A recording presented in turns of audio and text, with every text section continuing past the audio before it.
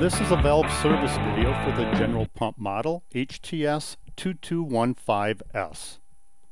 The tools needed for this repair are a ratchet, a 30 millimeter socket, a needle nose pliers, a pick, a round head tool, and a torque wrench. The inlet and outlet valves are comprised of the same components. To service a valve, use a ratchet with a 30 millimeter socket to remove a valve cap.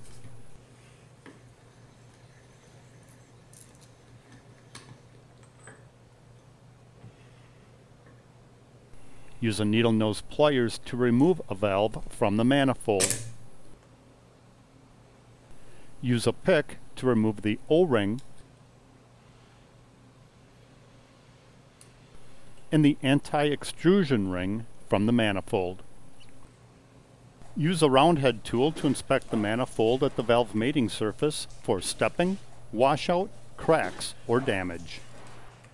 Insert the round head tool into the valve between the poppet and the cage to remove the cage, the valve spring, and the poppet from the seat.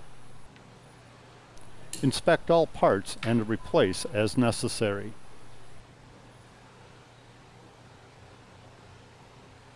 With the necessary parts replaced, place the poppet onto the seat, the spring onto the poppet, and the cage onto the seat, snapping the cage into place.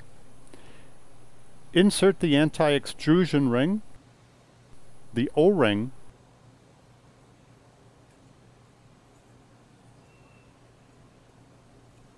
and the valve into the manifold. Use a needle nose pliers to properly seat the valve into place. Inspect the valve cap O-ring for damage and replace if necessary.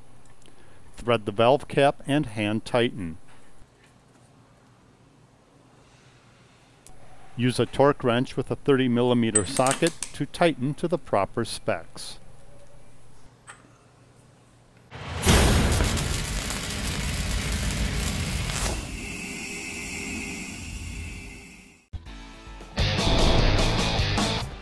Clean